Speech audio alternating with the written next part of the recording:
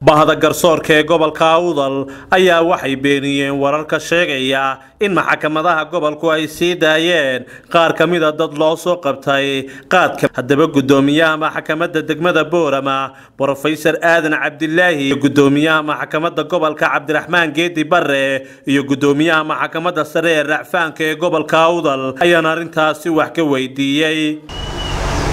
Marka waxaan samaynay markaan waraysanay nimankii ay dhammaan noqdeen cunis ay noqon waayeen ganacsi. In aan markaa anshax marino.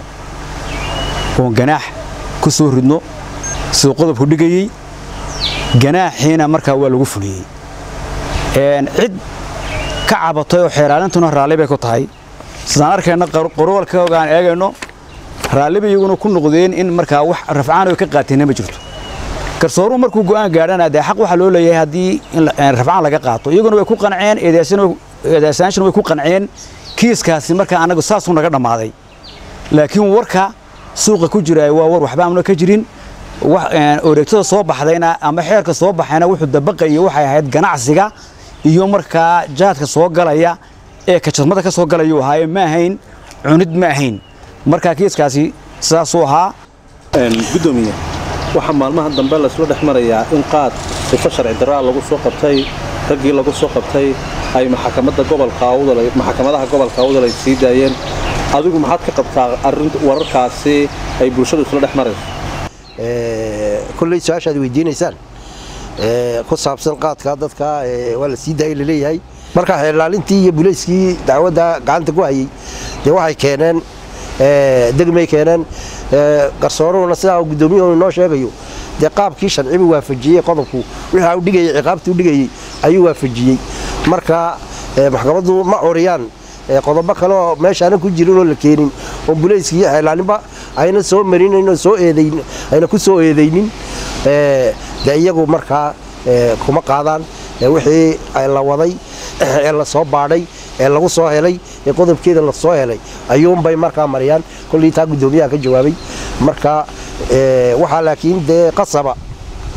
Annagu inaanu u hogaansanaano wixii sharcigan fulino oo muxuu ahaa bulshadu wixii dhib ku ah caafimaadkeeda dhib ku ah iyo qaranka dhib ku ah ee la keeno ee la soo qabto inaan fulino qasab baan ku nahay.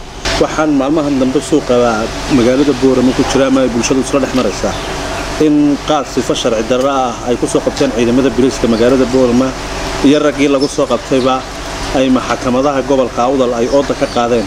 Wararkaasi maxaa ka jira? Oo aad bulshada u xaqiijinaysaan ama aad la wadaagaysaa? Halkaa waxaad ka arkaysaa su'aashii aadna weydiiseen inay siday u siday u dhacday. Guddoomiyaha degmadu waa kaa sharxay. Waxaan bulshada u sheegaynaa. Horta been iyo run isku mid maaha dadku inay sheegaan wax waaqica oo jira inay sheegaan baa muhiim ah.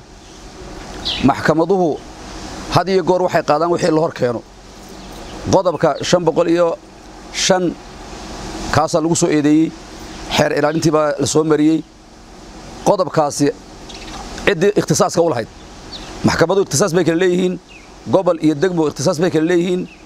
Rafcaanka wax u yimaadeen wixii rafcaan la soo qaato laakiin qodobkii uu dabaqay guddoomiyuhu degmadaana lahayd laakiin markay noqoto ka ganacsi qaadka oo la soo gelinayey waa gobolka iskale gobolkaa qaadaya gaadiidkana saasoo logala wareegay marka ay ku caddaato. Laakiin tani shalay la sheegaya waa been sal iyo aan raad lahayn weeyaan oo muxuu ahaa suuqu la geliyey. Arrintaana waxaa laga rabaa ciddii beentaa sheegtay caddaynteedii inay keento. Waayo muxuu ahaa qaranka in daacadnimo loogu adeego ayaa muhiim ah in been la sheega maaha. Saasay arrintu u dhacday. Beentaasay ahayd.